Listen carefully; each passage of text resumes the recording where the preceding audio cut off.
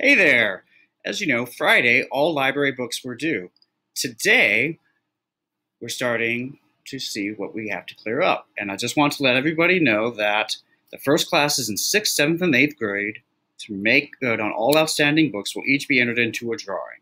One lucky student will get a $20 gift card from Little Shop of Stories. Also, all homeroom teachers with clear checkout records will be entered into a separate drawing for 6th, 7th, and 8th grade for another gift card from Little Shop of Stories. So, if everybody in the sixth grade class is the first class to get everything in, all those kids go into a drawing. I draw one name, one kid wins, but also every teacher in sixth grade that manages to clear their homeroom records, they get entered into a drawing. And it goes on through sixth, seventh, and eighth. I think it's pretty simple. I could be wrong. But if you have any questions, just send me an email. We'll get through it. And I thank you for your patience. Have a great day.